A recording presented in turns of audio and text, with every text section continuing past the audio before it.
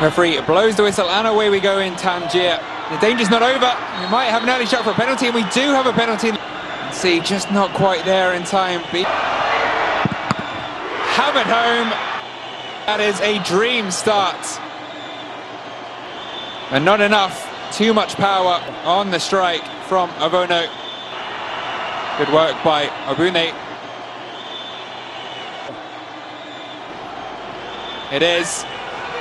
It's dropped. Francois Bekale. Hero to zero stuff for Avono.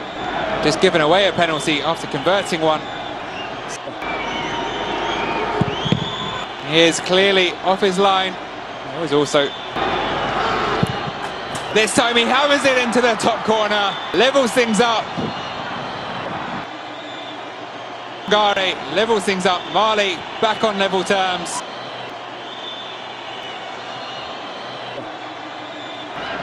Ball forwards. A little shove there. Oh, Sangare. Space here for the shots. Still just getting gutting. Oh, ah, another lovely little trick, but that's a lovely ball into the middle. And the finish as well to match from Jake Nadumbia. Bekale coming out to close him down, but toe poked home. Couple of minutes maybe 10 and a half. You can see there, it would potentially be a red card. Bekale is sent off.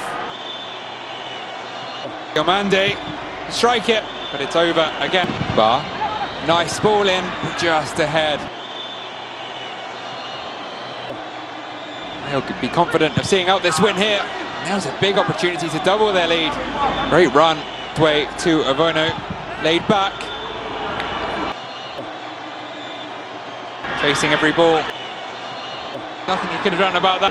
Sangare laying it off for Doumbia. Safety first. Whipped in. Not initially held by... Laying it off. And we do get a third for Mali. And a perfect start to this under-23 AFCON campaign for Mali.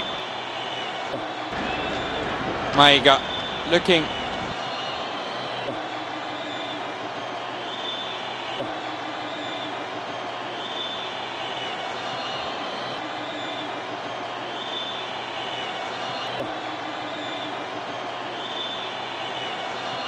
quite to plan since then. There's the final whistle, 3-1 Mali.